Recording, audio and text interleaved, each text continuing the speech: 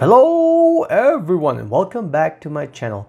In this episode, we'll demonstrate to you how you can test your Microsoft Visual Studio Xamarin application on a Apple device or an iOS device. Let's get started. You start off by setting up your device, uh, your Apple devices using a Mac. Okay, I have an iPad connected to the Mac and next thing I'll do is to launch my Xcode. So once you launch it, close that guy and you close Windows and go Device and Simulator. You can see I do have an iPad, but it's complaining that uh, my iPad is locked. Let me unlock the iPad here. That was my code.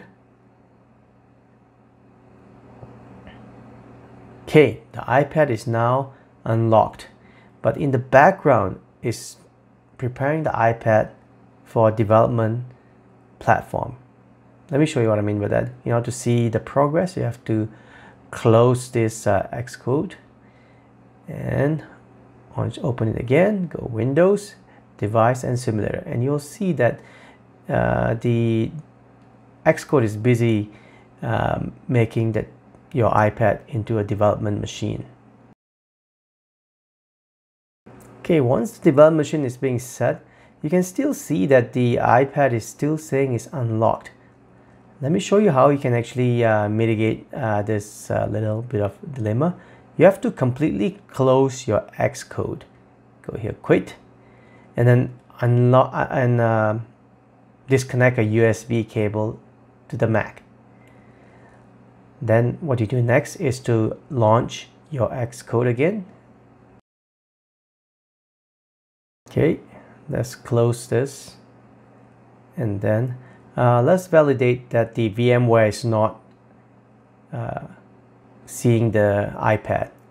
As you can see there's no check mark next to it indicating that there's no iPad connected to it.